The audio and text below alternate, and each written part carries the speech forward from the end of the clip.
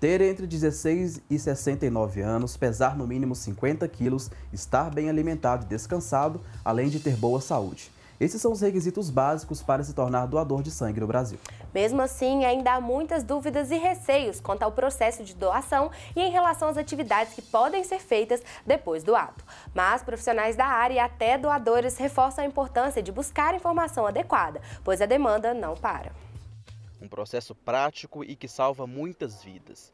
Não são raras as campanhas midiáticas que reforçam a importância do doador de sangue para a saúde pública. Em 2017, a Fundação Hemominas atendeu mais de 360 mil candidatos à doação de sangue. Parece muito, mas é preciso mais. Por que será? O que é importante né, a população entender é o seguinte, que não existe medicamento que substitua a doação de sangue, né? Então, tá, numa transfusão, no momento, é, dependendo né, do estado do paciente, o único remédio que vai salvá-lo é uma transfusão. A gente precisa de doadores todos os dias. Então, um número expressivo, porque não adianta a população é, se mobilizar um dia, vir todo mundo doar, aquele, a gente nem tem estrutura para receber todo mundo, né? E o sangue tem validade. A gente tem que entender isso, né? Que cada hemocomponente depois, né? É, ele vale um período de tempo. Breno é doador há cinco anos.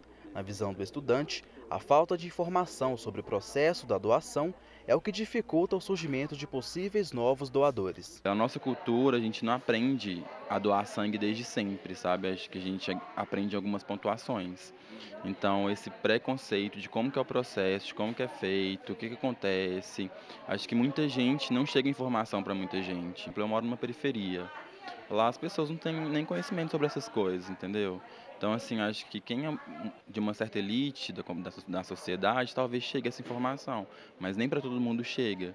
E se você nunca doou, é importante saber o que cada pessoa vai encontrar por aqui ela passa por várias etapas. A primeira, ela vai passar por uma conscientização, depois um cadastro, depois uma triagem médica, que lá ele vai fazer um monte de perguntas, né, para saber se ele está apto ou não a doar. Né? Aí, estando tudo ok, ele vai passar, vai ser pesado, conferir o seu peso, né? E imediatamente vai fazer um teste para saber se ele tem anemia ou não.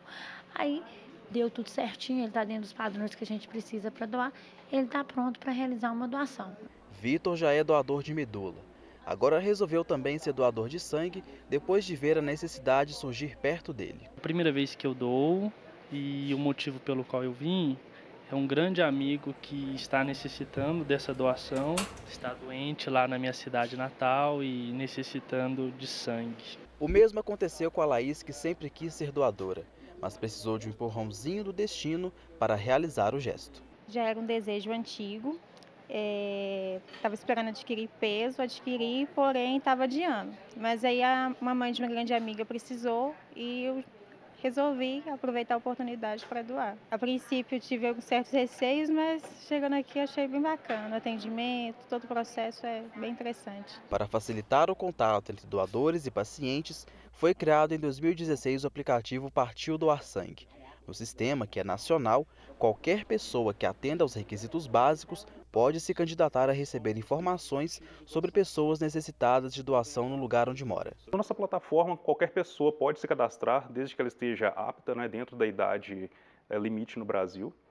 É, então, a partir do aplicativo ou do site, essa pessoa se cadastra e tem acesso a, a, ao recebimento dessas notificações, ela consegue também controlar a periodicidade de doação. Uma vez cadastrado na plataforma, é, mesmo não cadastrado, na verdade, você tem acesso às informações sobre quais são os requisitos mínimos para a doação de sangue. Todos elas estão listados tanto no nosso aplicativo quanto no site. O usuário vai encontrar no sistema um questionário que avalia informações como idade, tipo sanguíneo e histórico de saúde.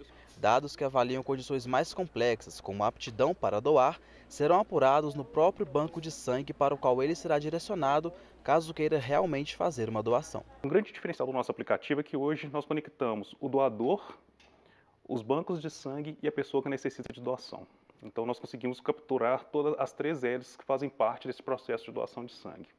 Então, para quem precisa de doação, ele acessa o nosso sistema, pode ser via web ou aplicativo, não é necessário realizar o cadastro, ele faz a identificação de quem necessita da doação, para qual banco de sangue é necessário realizar a doação e durante quanto tempo ele quer que esse aviso permaneça disponível em nossa plataforma. Além disso, ele pode informar também o tipo sanguíneo caso seja necessário. O resultado tem sido positivo, mas quando se trata de um bem tão precioso como o sangue, sempre é preciso fazer mais. Hoje nós temos quase 5 mil pessoas cadastradas em nossa plataforma como doadores. E com esse volume de pessoas, nós já conseguimos uh, ajudar a salvar mais de 4 mil vidas, né? considerando que cada doação ela consegue ajudar até quatro pessoas. Uh, mas nesse momento, o que nós temos buscado né, é divulgar a plataforma, porque quanto mais pessoas estiverem cadastradas, envolvidas nesse processo de doação de sangue, maior é a chance de nós conseguirmos ajudar as pessoas.